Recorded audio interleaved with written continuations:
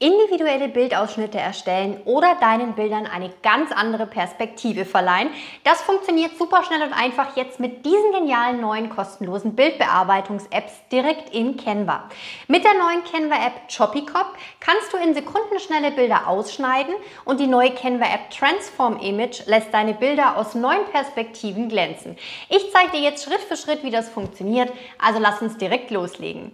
Falls wir uns noch nicht kennen, ich bin Elisabeth, Canva Verified Expert und ich helfe dir dabei, deinen Content in geniale Designs zu verwandeln. Also log dich schon mal in deinen Canva-Account ein und wir starten gemeinsam los.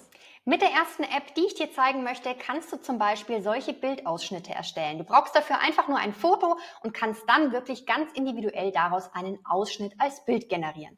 Die App, die wir verwenden wollen dafür, nennt sich Choppy Crop. Und die findest du natürlich auch wieder in der linken Menüleiste unter dem Bereich Apps. Gibst du einfach nur Choppy Crop ein, siehst das Ganze hier auch schon in der Auswahl und das ist die App, die wir verwenden wollen. Du musst dich bei dieser App auch nirgendwo anmelden, einloggen, separat, sondern das Ganze findest du direkt in Canva.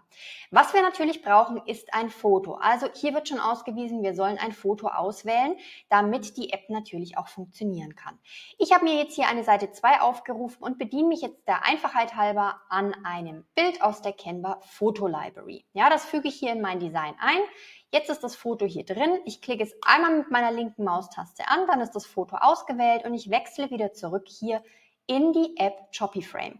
Und dann siehst du auch, wurde automatisch dieses Bild erkannt und ich habe jetzt die Möglichkeit, eben einen komplett individuellen Bildausschnitt zu generieren.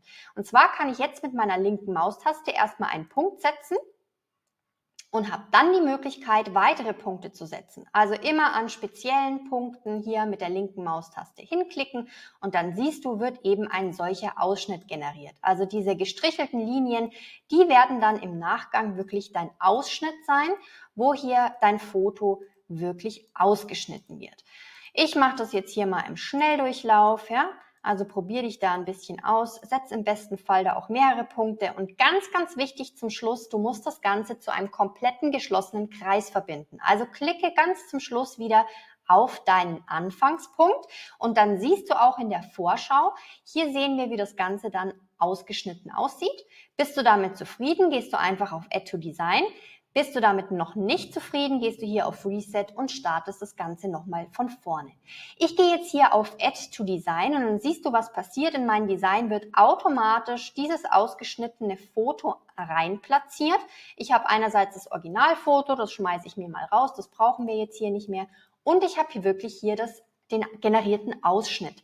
Und das Schöne bei der App ist, automatisch unter den Uploads landet auch immer wirklich dein ausgeschnittenes Bild, also das Design, das du gerade erstellt hast. Damit kannst du natürlich auch diese Ausschnitte zum Beispiel in Ordnern bei dir abspeichern und immer wieder in Canva verwenden. Ganz wichtig, wie gezeigt, das Ganze landet automatisch im Upload-Ordner. Der ist total unstrukturiert und irgendwann findest du da nichts wieder. Wenn du diese Bilder wirklich in einen Ordner sortieren möchtest, um sie immer wieder zu verwenden, dann geh jetzt hier auf die drei Punkte und dann kannst du das Ganze wirklich in einen Ordner verschieben. Geniale Bildbearbeitungs-App Nummer zwei, die ich dir zeigen möchte, nennt sich Transform Image. Und zwar, du kannst damit solche regulären Bilder oder Screenshots in ein komplett anderes Design, in eine andere Perspektive verwandeln. Und das funktioniert mit dieser App super simpel und einfach. Und du siehst jetzt zum Beispiel hier als Beispiel, ich habe hier einen solchen Screenshot mit Hilfe von der App verwandelt, die Perspektive geändert und als Hintergrund zum Beispiel für eine meiner letzten YouTube-Thumbnails verwendet.